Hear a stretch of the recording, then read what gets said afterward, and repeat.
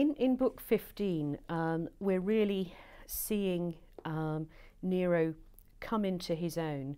Um, the book as a whole um, opens um, with uh, events in um, Parthia and Armenia.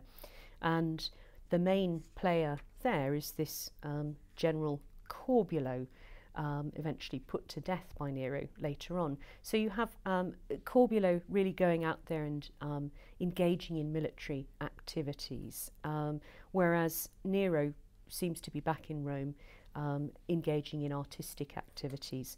Um, and Corbulo himself is not perfect, but he is at least going out there and doing things.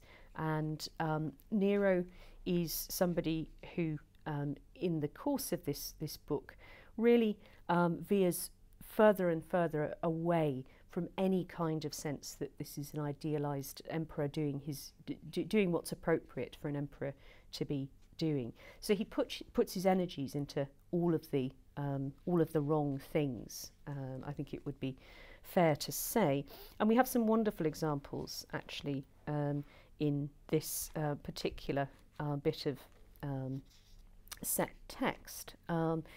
For example, 1537, um, Tigellinus's um, banquet. Um, it's not just Nero himself, it's the people around him that, that seem to enter into this sort of corrosive um, situation.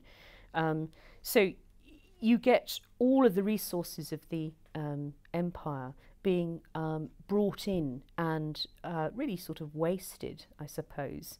Um, the degradation of these very high ranking uh, women who are um, effectively acting as prostitutes, the um, marriage that Nero enacts um, with um, this man called um, Pythagoras. And then you get the narrative moving to the, the, the uh, fire. So sequitur clades, disaster follows.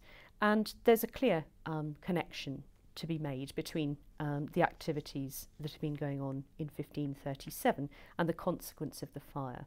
Um, so um, Tacitus is nar narrating this in a very artful way, I think.